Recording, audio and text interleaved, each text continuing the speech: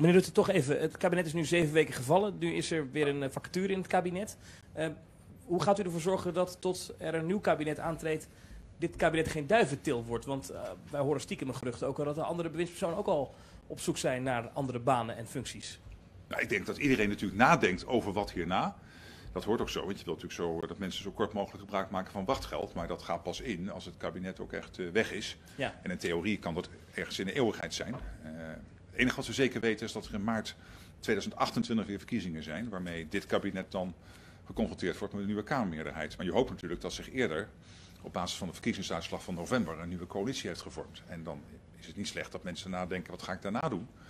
Uh, en van een duiventil is toch geen sprake nog? Uh, nog niet, maar zou Rob Hoekstra oproep... zou ik niet onder de duiventil, want ja, dat is natuurlijk een noodzakelijke benoeming vanwege een vacature ja. die, die ontstaan is in de Europese Commissie. Nou goed, het was, u was niet gedwongen toch om iemand uit het kabinet heen te sturen?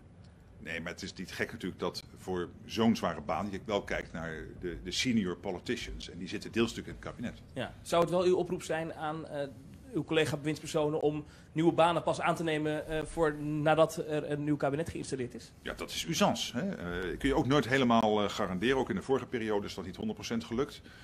Uh, en ik heb daar ook allemaal uh, meteen uh, zware oordelen over. Maar goed, de koning heeft ons gevraagd om als team collectief door te gaan met te doen wat in het belang van het koninkrijk is. Ja, en dat is niet weggaan voordat er een nieuw kabinet En daarbij helpt het als je niet weg bent, want dan ja. kun je dat niet doen. Wel meer dan helpen, toch? Ja.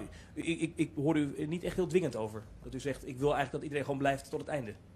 Ja, maar dat, dan is het net of ik hier uh, uh, angstig ben dat iedereen strek is. En dat, dat, daarom aarzel ik een beetje om uh, uw uitnodiging aan te nemen om nu dan streng de Kamer in te kijken, bij zo'n spreken, en te zeggen, jullie moeten allemaal blijven.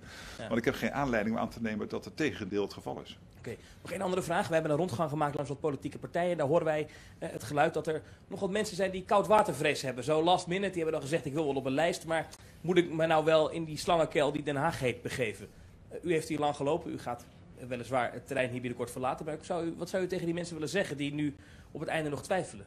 Dat is ieders persoonlijke afweging, primair. Daar kan ik alleen maar respect hebben wat eruit komt. Ik kan alleen maar zeggen waarom ik de afweging heb gemaakt. En, uh, ik praat natuurlijk zelf ook met mensen die uh, in mijn partij overwegen uh, dat te gaan doen. En ja, ik leg uit waarom het ongelooflijk eervol is. we wonen in een heel bijzonder land.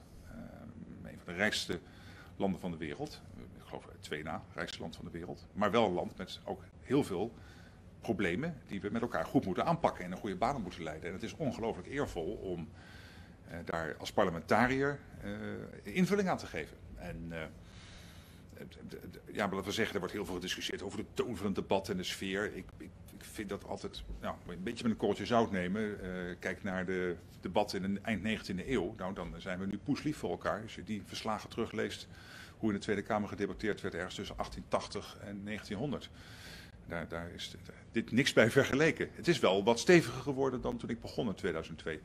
Ik heb er nu eigenlijk niet zo oordeel over. En dat maak je ook met elkaar. Dus iemand die zegt ik wil de politiek in en ik wil dat we respectvol met elkaar debatteren, kan juist daardoor daar ook een hele positieve bijdrage aan leveren. Dus wees niet bang, doe het. Ja, maar maak wel je eigen afweging uiteindelijk. Ik kan je niet dwingen.